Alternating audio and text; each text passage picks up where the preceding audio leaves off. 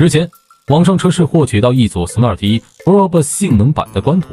新车将于八月二十六日登陆成都车展，并于当日开启线上限时发售。据经销商透露，新车起售价在二十八万左右。新车采用双色车身设计，在多处加入了彰显驾驶激情的红色元素。新车引擎盖前的新增两个条状进气口，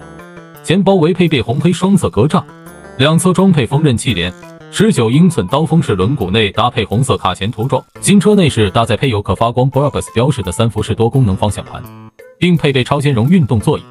并在座椅上加入了 Brabus 专属缝线设计。动力上，新车搭载单、双电机两种动力版本，单电机最大功率为两百千瓦，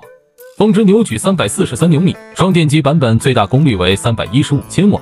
峰值扭矩五百四十三牛米。